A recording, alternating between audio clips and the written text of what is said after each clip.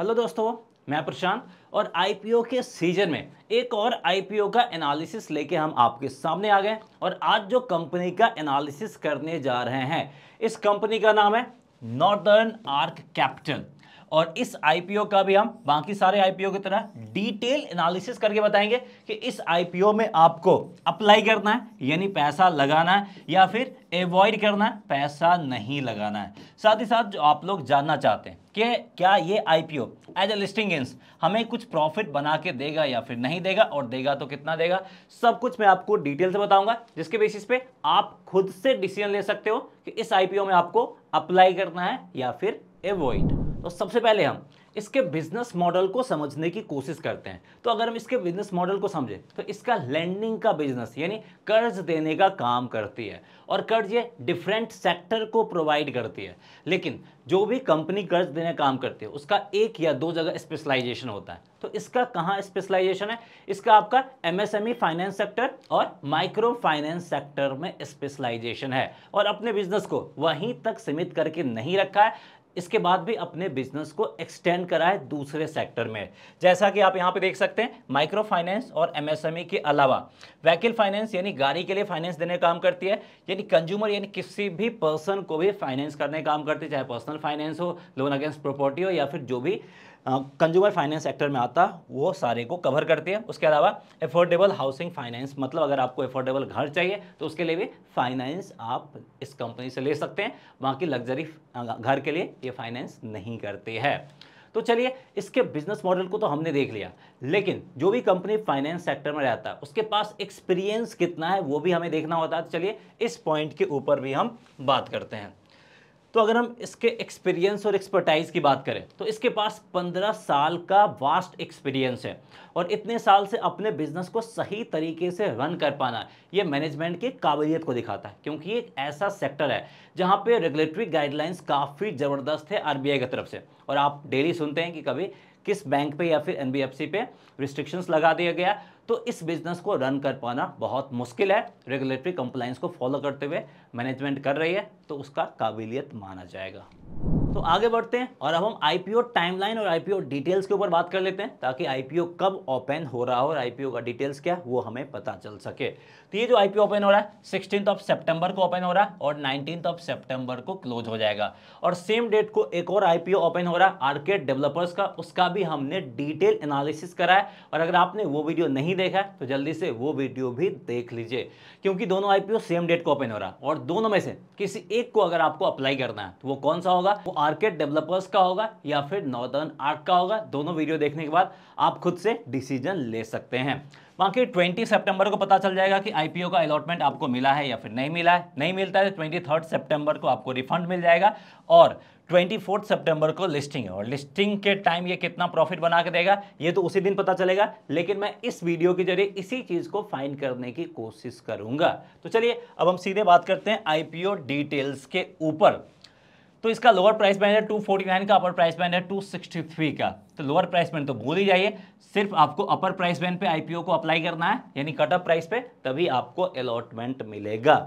Lot size की बात करें तो 57 शेयर्स का इसका लॉट साइज़ रहने वाला है और अगर आप इस आईपीओ में सिंगल लॉट के लिए भी अप्लाई करते हैं तो फंड चाहिए होगा अप्रोक्सीमेटली 15,000 चाहिए होगा। एग्जैक्ट बात करें तो 14,991 यानी 15,000 से सिर्फ़ आपका नौ रुपया कम।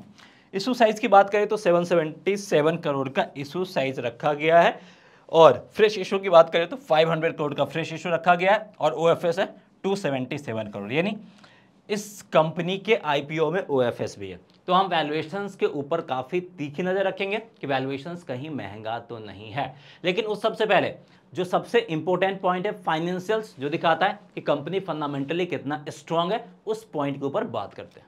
फाइनेंशियल्स के ऊपर अगर हम फोकस करें तो सबसे पहले एसेट्स और रेवेन्यू के ऊपर फोकस करें तो एसेट्स का ग्रोथ काफ़ी शानदार है। रेवेन्यू एफ़ वाई ट्वेंटी में 916 करोड़ था। एफ़ वाई ट्वेंटी में बढ़ के हो गया आपका 1311 करोड़ यानी 1311 करोड़ और एफ़ वाई ट्वेंटी में ये इंक्रीज होके हो गया लगभग आपका 1900 करोड़ यानी यहाँ पे अगर हम बात करें तो 50 परसेंट का ग्रोथ हमें दोनों फाइनेंशियल देखने को मिला है। रेवेन्यू के टर्म्स में अगर हम बात करें तो।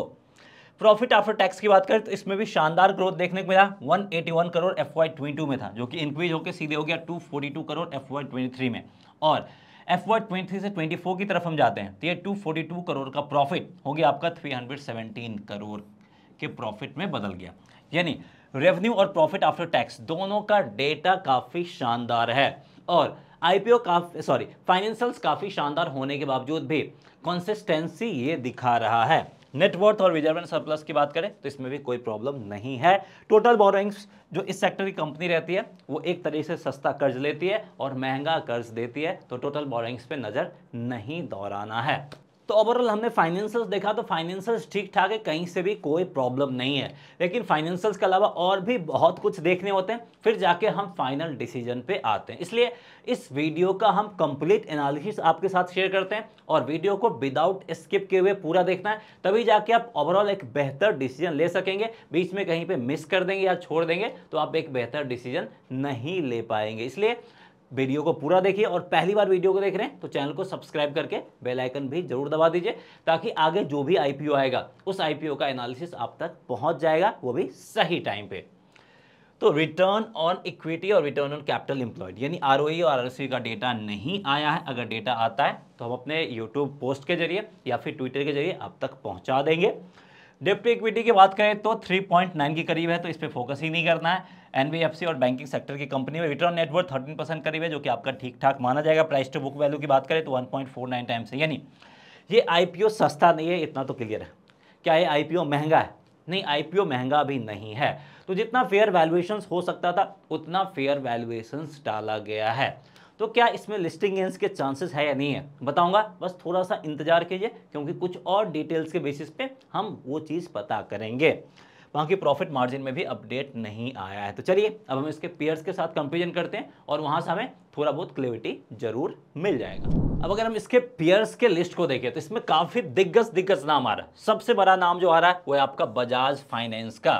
और अभी बजाज हाउसिंग फाइनेंस का एक आईपीओ भी आ रहा है। तो पूरा सेक्टर तो मैच नहीं कर रहा है, लेकिन लगभग ये सेक्टर मैच कर रहा है। और कुछ दिग्गज आईपीओ को छोड़ के, अगर हम इस सेक्टर के कंपनी के ऊपर फोकस करें तो जो भी आईपीओ है, उतना बेहतर परफॉर्मेंस नहीं दिया है। और सब कुछ ठीक ठाक होने के बावजूद भी, यानी वैल्यूएशंस ठीक है फाइनेंशियल्स ठीक है, सब कुछ ठीक होने के बावजूद भी, इस आईपीओ का डिमांड कम हो सकता है। क्यों कम हो सकता है? क्योंकि हमारे पास ऑप्शंस बहुत ज़्यादा है। जैसे यहीं पे देख लीजिए अगर आपको बजाज फाइनेंस में पैसा लगाने के लिए बोला जाए और नॉर्दर्न कैपिटल में पैसा लगाने के लिए बोला जाए तो आप किसमें लगाएँगे?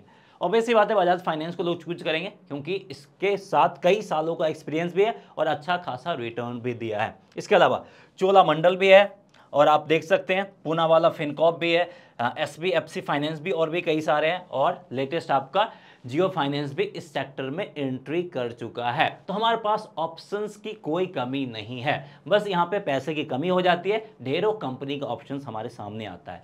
तो अगर मैं आपसे सवाल पूछूँ कि नॉर्दर्न आर कैपिटल में हम क्यों पैसा लगाए जब हमारे पास बहुत सारे ऑप्शंस अवेलेबल है? तो इसका कोई सटीक जवाब नहीं मिलता है। तो इसलिए सब कुछ ठीक होने के बावजूद भी आईपीओ में डिमांड नहीं आ सकता है। इस पॉइंट को ध्यान रखना और ये कोई नहीं बताएगा। इसलिए मैंने बोला कि वीडियो को पूरा देखिए, कंप्लीट और सटीक एनालिसिस आप तक पहुंचाना हमारा काम है।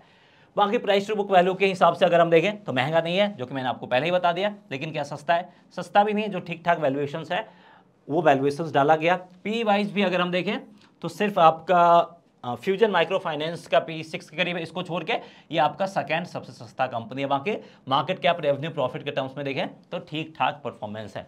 परफॉर्मेंस में कोई कमी नहीं है, लेकिन जो मैंने आपको फैक्टर बताया था, उस फैक्टर को ध्यान में रखते हुए डिसीज़न लेना है। तो यहाँ पे अब हम पॉजिटिव नेगेटिव्स के ऊपर बात करते हैं, फिर हम फाइनल डिसीज़न लेंगे कि इस आईपीओ का डिमांड कैसा है और कुछ लिस्टिंग गेंस दे रहा है या नहीं दे रहा आज के डेट के दिन।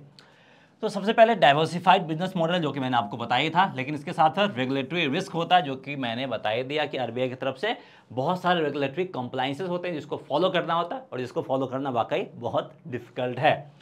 टेक्नोलॉजी ड्रिवन अप्रोच है, यानी टेक्नोलॉजी का अच्छा खासा इस्तेमाल कर रहा है, ये ध्यान रखना है। और फाइनेंशियल्स काफ़ी ज़्यादा स्ट्रॉन्ग है, जो कि मैंने आपको बताया था। इसके साथ इस फ़ील्ड में कंपटीशन भी बहुत ज़्यादा है और कई सारे दिग्गज भी इस फ़ील्ड में हैं, जैसा कि मैंने बजाज फाइनेंस बात बात किया था, चोला मंडल फाइनेंस की बात कर लें, श्रीराम फाइनेंस की बात कर लें तो वो सब दिग्गज कंपनी इस फ़ील्ड में हैं। इकोनॉमिक डाउन ट्रेंड होता है तो इस सेक्टर पे अच्छा खासा हमें इम्पैक्ट देखने को मिलता है। तो पॉजिटिव नेगेटिव्स कोई खास सीरियस वाला नहीं है, लेकिन इसको ध्यान रखना है आईपीओ में अप्लाई करने से पहले। तो अगर हम लिस्टिंग गेंस की बात करें तो वर्स्ट केस में ये आपका 700 टू 1000 का लॉस दे सकता है। यानी 1000 से ज़्यादा का लॉस नहीं देगा चांसेस बहुत कम है। लेकिन अगर मार्केट का मूड माहौल ख़राब हो गया तो कुछ नहीं किया जा सकता है। लेकिन अगर सब कुछ नॉर्मल रहा तो मैक्सिमम ये आपका 700 से हज़ार रुपये का निगेटिव लिस्टिंग दे सकता है। यानी इतना लॉस दे सकता है। अब प्रॉफिट कितना दे सकता है? तो मैक्सिमम प्रॉफिट यहाँ पे आपको 2000 करीब मिल सकते हैं। ऑन एन एवरेज बात करें तो जो आपका इशू प्राइस है, इसी के करीब लिस्ट होता हुआ ये दिख रहा है। तो ओवरऑल यहाँ पे हमने क्या बोला था कि ऑप्शंस बहुत सारे हैं। तो आपको क्या करना है? आपको खुद से डिसीज़न लेना है। आपको अप्लाई करना है या फिर नहीं करना है। और आपका जो भी डिसीज़न है कमेंट करके ज़रूर बताएगा आपके कमेंट का इंतज़ार रहेगा। सो डैट्स ऑल इस वीडियो में इतना ही। मिलते हैं नेक्स्ट वीडियो में। जय हिंद।